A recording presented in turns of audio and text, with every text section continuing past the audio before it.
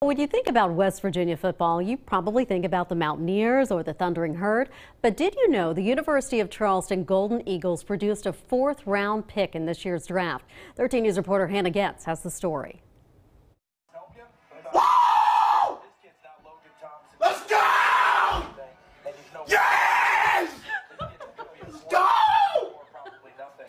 This is what it looks like when dreams come true.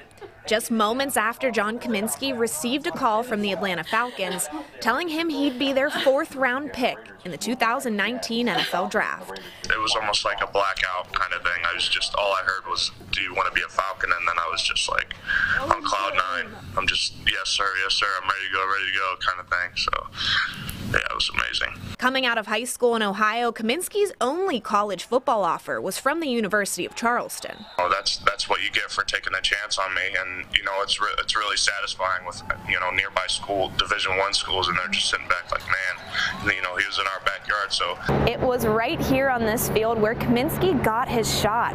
A shot that, alongside of a lot of hard work and perseverance, landed him in the NFL. Very well deserved. I mean, he was a young man that's done so much for this program. Um, really, just everything he's done, he's earned, worked extremely hard, tremendous teammate, and, and can't tell you how excited I am for him. Cominsky is the only player in UC program history to be drafted, a milestone that head coach Pat Kirkland tells me will only help the program's future and inspire current players. So the biggest thing is to stay encouraged and stay motivated with the hard work because it's never for for nothing. You know, even if you're just working hard, um, you know, in the classroom or something, it's going to pay off eventually.